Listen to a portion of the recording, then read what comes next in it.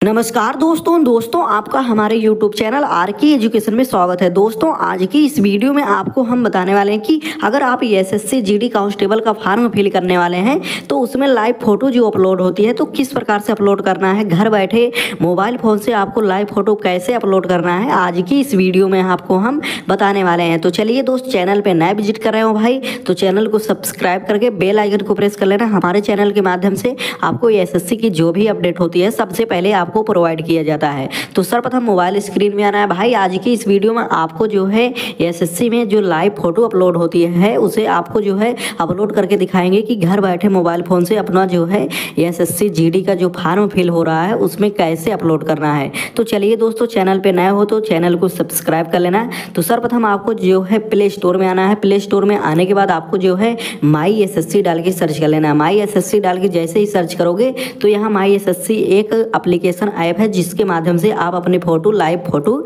Upload कर पाओगे। तो इस ऐप को जो है इंस्टॉल कर लेना है। इंस्टॉल करने के बाद आपको जो है इस ऐप को जो है ओपन कर लेना है। ओपन करने के बाद आपका जो है आसानी से ओपन हो जाएगा। ओपन होने के बाद आपको जो है अपना रजिस्ट्रेशन नंबर फिल करना है और अपना पासवर्ड फिल करना है। उसके बाद यहाँ कैप्चा कोड फिल करना है। सारा चीज़ यहाँ फिल करके आपको लॉग कर देना है। तो यहाँ से सारा चीज़ हम फिल कर देते हैं। कैप्चा कोड फिल कर देते हैं और जो है यहाँ से हम रजिस्ट्रेशन नंबर फिल कर देते हैं। उसके बाद यहाँ से हम अपना फार्म जो है यहाँ अपना जो एप्लीकेशन है, इसे लॉगिन करते हैं। लॉगिन करने के बाद आप आसानी से अपना घर बैठे मोबाइल फ़ोन से ही भाई आप जो है फ़ोटो अपलोड कर पाओगे, वो भी लाइव फ़ोटो आप घर बैठे अपलोड कर पाओगे और फार्म पूरा फार्म भी हम आपको जो है फिल करके दिखाएँगे। तो यहाँ एक्सेप्ट का ऑप्शन आएगा, यहाँ से आप एक्सेप्ट कर लेना है। उसके बाद यहाँ आपको दिखाई दे रहा होगा कांस्टेबल जी डी यहाँ पर आपको दिखाई देगा। उसके बाद यहाँ अप्लीकेशन स्टार्ट डेट दिखाई दे रहा है। उसके बाद last date application last date उसके बाद प्रिव्यू डिटेल्स भी यहाँ चेक कर सकते हो। उसके बाद यहाँ कैप्चर का ऑप्शन पे दिखाई देगा।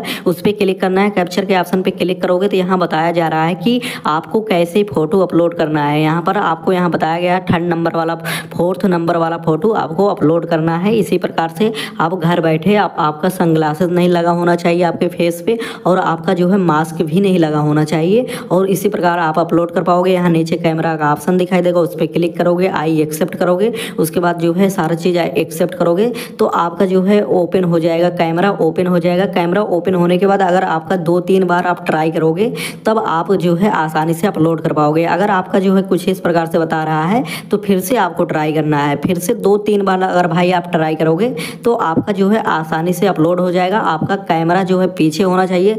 थोड़ा मोबाइल फ़ोन जो है आपको जो है मोबाइल फ़ोन से जो है आपको दूरी बना के रखना है और आपकी फ़ोटो जो है धुंधली नहीं होनी चाहिए और आसानी से आपका अपलोड हो जाएगा। कुछ इसी प्रकार देखिए भाई हमने अपलोड कर दिया है। आप भी इसी प्रकार से अपलोड कर लेना है। अपलोड करने के बाद यहाँ अपलोड अपडेट का ऑप्शन दिखाई देगा। अपलोड का ऑप्शन दिखाई देगा। आपको अपलोड के ऑप्शन पर क्लिक कर देना है। आपका जो है फ़ोटो आसानी से अपलोड हो जाएगा। उसके बाद एस एस सी की S S C dot G O V dot in के ऑफिसल साइट पर जाके आप वहाँ से अपना सिग्नेचर भी अपलोड कर देना है। उसके बाद फार्म को जो है कंप्लीट कर देना है। उसके बाद आज की इस वीडियो में आपको ये पता चल गया भाई कि कैसे फ़ोटो आपको अपलोड करना है। फ़ोटो अपलोड करने के लिए बहुत सारे स्टूडेंट परेशान होते हैं, लेकिन आसानी से फ़ोटो अपलोड हो जाता है। कुछ इसी प्रकार आप भी अपलोड करोगे तो आसानी से अपलोड हो जाएगा।